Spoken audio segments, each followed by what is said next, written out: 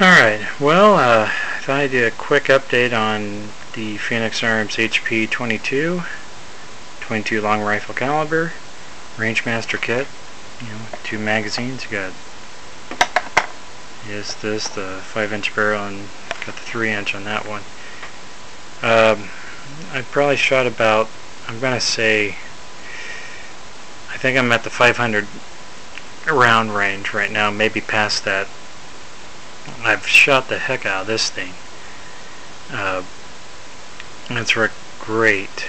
Um, just like any 22 pistol, you gotta keep it uh, clean to keep it rocking. But uh, I think we're having a magazine issue now.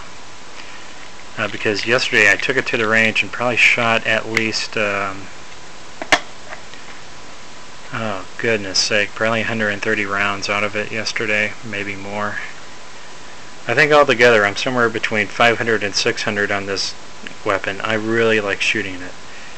Uh, but I'm having a lot of failure to feed, and then uh, a little bit of failure to eject.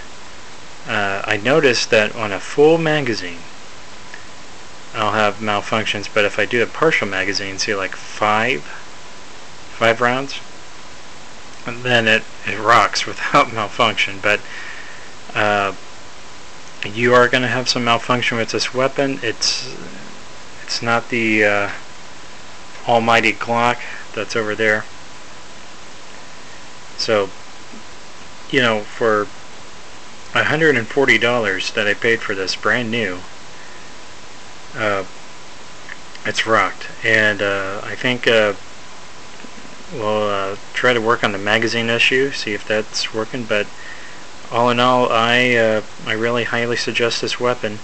It's a great entry uh, weapon for anybody, uh, but you know it's also very concealable for concealed carry. Although uh, it is a 22, so if this is all you can afford, uh, if your budget's within $200 I would uh, purchase this uh, Rangemaster kit.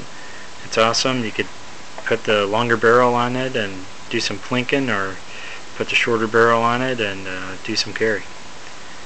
Alright, thanks for watching.